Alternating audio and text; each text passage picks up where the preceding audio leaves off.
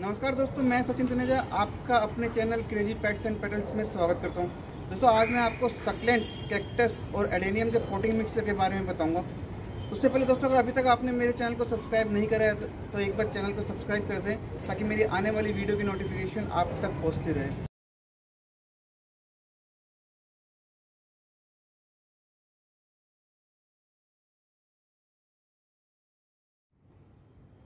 दोस्तों, अगर आप इन सात टाइप के मटेरियल को यूज़ करके पोटिंग मिक्सचर बनाते हैं तो आपका सकलेंट कैक्टस और एडेनियम का प्लांट जो है उसके ख़राब होने के चांस बहुत कम हो जाते हैं।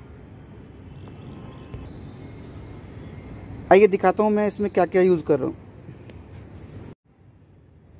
सबसे पहले हमने लिया है प्यूमिस प्यूमिस के बारे में मैंने आपको अपनी पिछली वीडियो में बताया है, उसका लिंक मैं डिस्क्रिप्शन बॉक्स में शेयर करूँगा। दूसरे नंबर पे हम ले रहे हैं सेंडर तीसरे नंबर में हमने लिया पर light.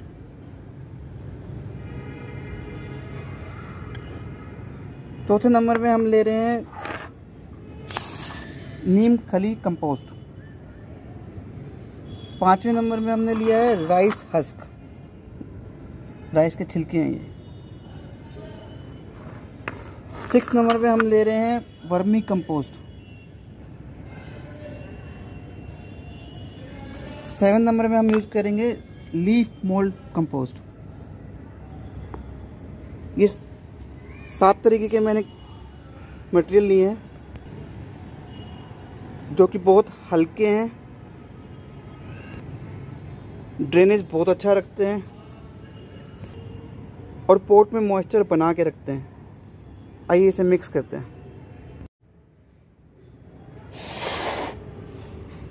One part pumice.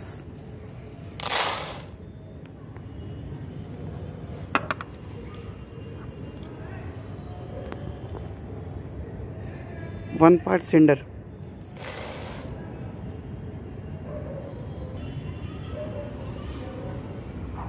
One part perlite.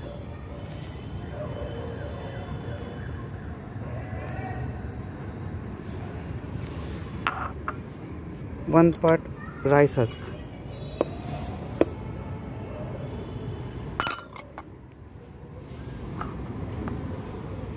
One part हमने लिया है नीम खली पाउडर। हाफ़ पार्ट हमने लिया है वर्मी कंपोस्ट।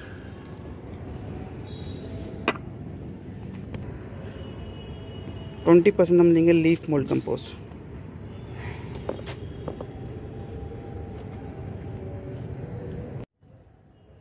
अब इनको मिक्स करना है। दोस्तों सक्लेंट्स के लिए सॉइल की बिल्कुल ज़रूरत नहीं होती।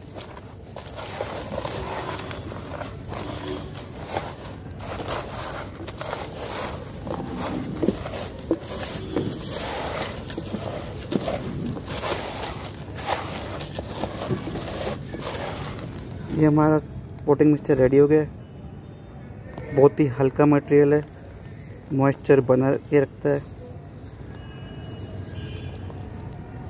और इससे ड्रेनेज बहुत अच्छा हो जाता है। Thanks for watching my video दोस्तों, अगर वीडियो पसंद आए तो लाइक ज़रूर करना। और इससे रिलेटेड अगर कोई भी क्वेरी हो तो कमेंट करना।